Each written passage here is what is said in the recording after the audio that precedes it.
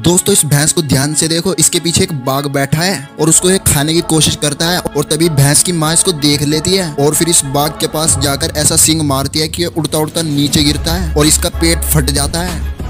आगे स्वाद।